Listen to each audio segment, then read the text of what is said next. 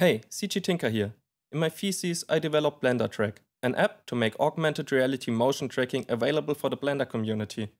Currently, the app supports camera motion tracking and face tracking on Android and iOS. The camera motion tracking process is fairly simple. Just move your device around slowly, play some reference objects and start recording.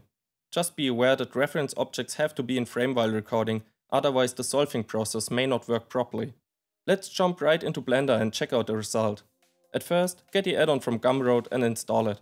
Then just navigate to the app generated files, hit the import button, and camera motion trackings usually import fairly quick. Let's check the solving accuracy by adding a dancing guy.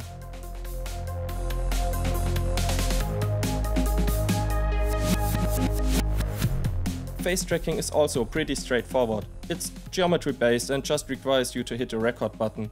In Blender you will receive either animated empties or an animated face mesh. The face mesh can be used for background characters and also for creative use. With some effort, the animated empties may be used to drive a rig. If you create something cool, please let me know by linking it to me, CG Tinker at Reddit or Instagram. I'm really curious what you will come up with. And that's about it. See you around.